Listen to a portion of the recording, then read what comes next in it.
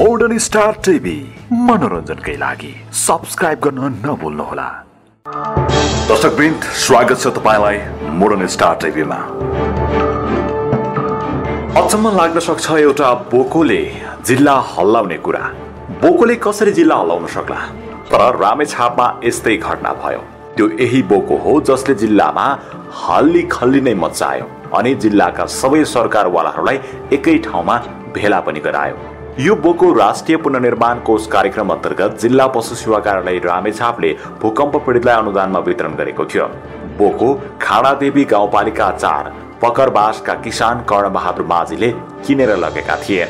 गत साल सोही कार्यक्रम अन्तर्गत पशु सेवा कार्यालय आफैले खरिद गरी वितरण गरेका बोकामा आर्थिक अनियमितता भएको भन्दै व्यापक गुनासो आएपछि यस वर्ष अनुदानको रकम एकमुष्ट कृषकको खातामा हालिदिने र सो रकमबाट किसानले आफ्नो पैसा समेत थपेर बोका खरिद गर्ने गरी पशु सेवा कार्यालयले कार्यक्रम बनाएको थियो।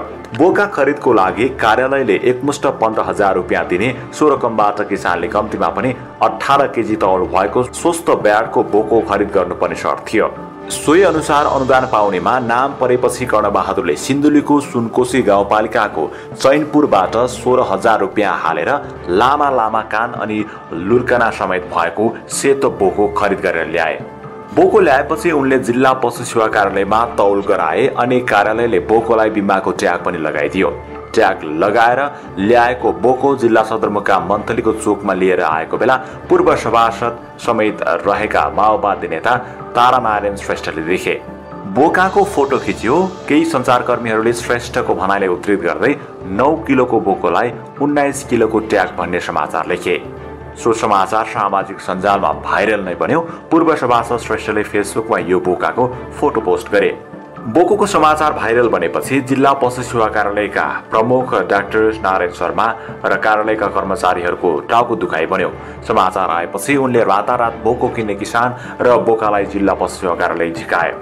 जिल्लाका पत्रकार मन्थली नगरपालिकाका मेयर रमेश बस्नेत जिल्लाका सबै राजनीतिक दलका प्रमुख एवं प्रतिनिधि सहायक प्रमुख जिल्ला अधिकारी र सरकारवाला सरकारी कार्यालयका प्रमुखहरूलाई समेत जम्मा गराए अनि सबै सरकारवालाहरूको अगाडि बोको देखियो। बोको चौबिस किलो भयो। सो विषयमा भएको सरकारवालाहरूको छलफलमा पूर्व सभासद श्रेष्ठले स्पष्टीकरण दिए मैले बोको देखेको होइन। फोटो हेर्दा सानो पाठो देखेँ।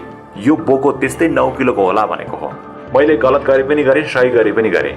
समाचार लेख्ने पत्रकारको पनि प्रष्टीकरण थियो। पूर्व सभासदले भने मैले लेखिदिएँ।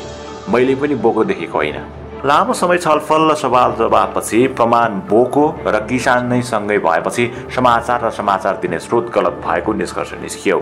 अन्तमा बोकोको बारेमा सरकारवाला सबै प्रश्न भएको निर्णय लेखी बैठक टुङ्गियो। बिना काममा आफूले दुःख दिनुपर्ने अवस्था आएकोमा पशु सेवा कार्यालयका प्रमुखले क्षमा मागे। किसान भने आफूलाई बिना कारण दुःख दिएको भन्दै बोको डोर्याएर हिँडे। कम्ताको छ यो बोको।